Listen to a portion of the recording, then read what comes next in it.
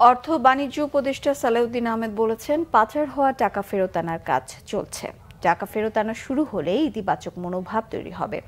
কত দিনের মধ্যে টাকা ফেরত আনা যাবে এমন প্রশ্নের জবাবে উপদেষ্টা জানান, বছরের পর বছর লাগবে না, কয়েক মাসের মধ্যে দৃশ্যমান হবে।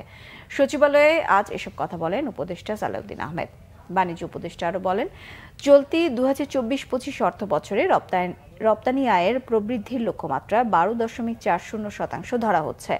এখন অবস্থার প্রেক্ষিতটা পরিবর্তন হয়েছে। এ কারণে এবার রপ্তানি আয় আগের চেয়ে কমবে না, বরং বেশি হবে। সালেউদ্দিন আহমেদ বলেন, যুক্তরাষ্ট্র সব দিক থেকে ইতিবাচক দৃষ্টি রাখবে। এনবিআর সংস্কারের জন্য দ্রুতই টাস্কফোর্স গঠন করার কথাও জানান। আর বলেন, বাজার ব্যবস্থাপনায় নানা বাধা ও চাঁদাবাজি কমাতে চেষ্টা করা হচ্ছে। প্রতিফলন হতে কিছুটা সময় লাগবে। ধীরে ধীরে পণ্যের দাম কমবে বলে আশা প্রকাশ করেন তিনি। ফর্মালি টাস্ক ফোর্স একটা হবে, টাকা ফিরে আনার জন্য, আর বাকি ব্যাংকিং সেক্টর একটা টাস্ক ফোর্স করবে। ওই দুইটা আর এনবিআর এর সংস্কারের ব্যাপারে তো আমরা একটা ইমিডিয়েটলি আমরা একটা টাস্ক ফোর্স করব। আমরা বিশেষজ্ঞ লোক আমাদের বাঙালির অনেক বিশেষজ্ঞ আছে।